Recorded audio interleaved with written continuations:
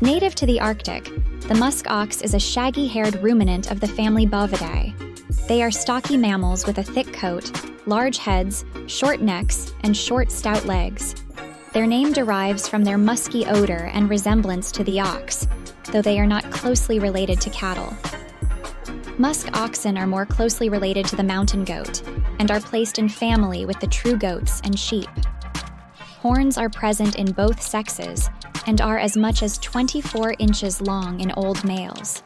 The strong odor emitted by males has the effect of attracting females during mating season.